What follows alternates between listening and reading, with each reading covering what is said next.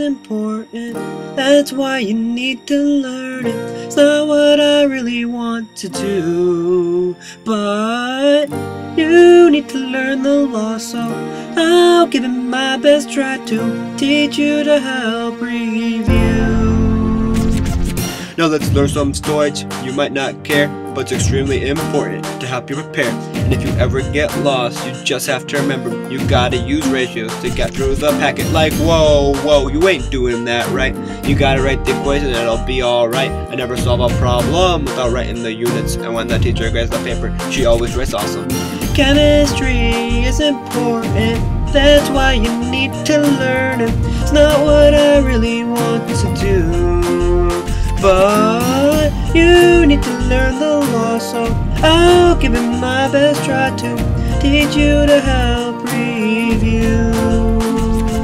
Now gonna teach you lab safety information when you're in the lab. Get Miss Hampton's permission. Wait, no, forgot one thing. You can't go. You're wearing sandals and it's showing your toe. Do I look fat in these goggles? Oh yeah, you do.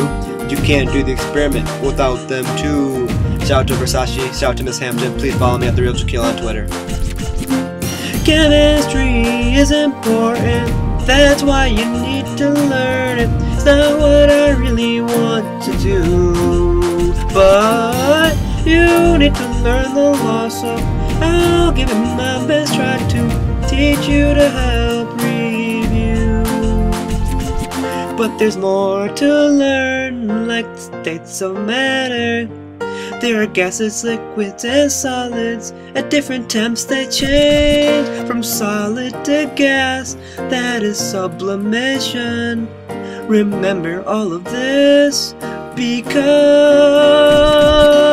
chemistry final exam. That's why you need to learn it. It's not what I really want to do, but